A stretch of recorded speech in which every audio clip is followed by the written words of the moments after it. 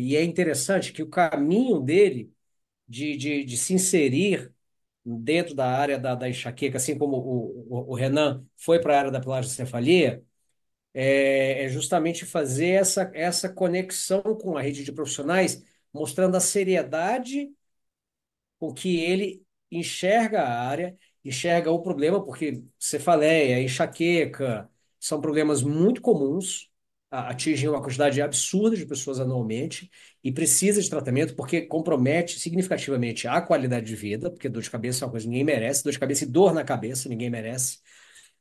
Então, assim, se você chega ali e olha, como você falou, assim, é cara que não é osteopata, né? A gente trouxe algumas pessoas não osteopatas aqui para o nosso podcast, mas o que que fica? Ele mostra qual é o caminho do profissional sério.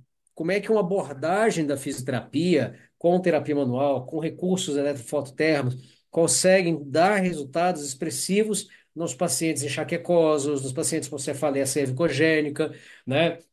É muito bacana essa maneira como ele mostra a, a, a individualização do tratamento, a abordagem centrada no paciente, né?